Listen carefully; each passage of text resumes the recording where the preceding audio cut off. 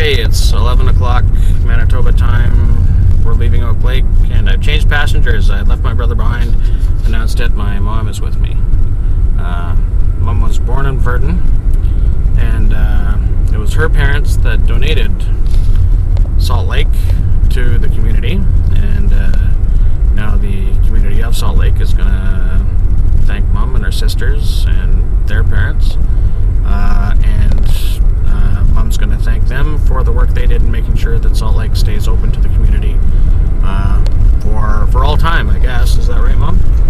No, not really. It depends on how, if the lake, uh, get, well, you don't know. I just said in my speech that uh, we hope that the community enjoys this lake for many years to come. Okay, well that sounds like a long time anyway. Yeah. All right, so I'm going to sign off for now. Uh, we'll be back in a bit. Thanks, mom. We're just crossing the Assiniboine River in the Assiniboine Valley just north of Virden. On the right, as we approach the bottom of the hill, you will see River Valley School.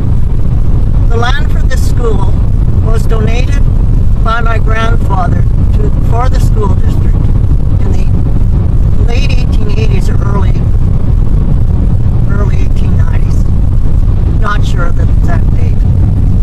coming up to the school now.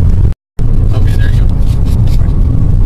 So it- maybe it- say your little spiel about the school again. So Okay. there it is right there, that, that Commonwealth flag running over it? Yes. Oh, neat. We're going by uh, River Valley School at the present moment. A beautiful little stone school, which I can't see for trees. Okay, we're entering Salt Lake, as you can see from the new sign.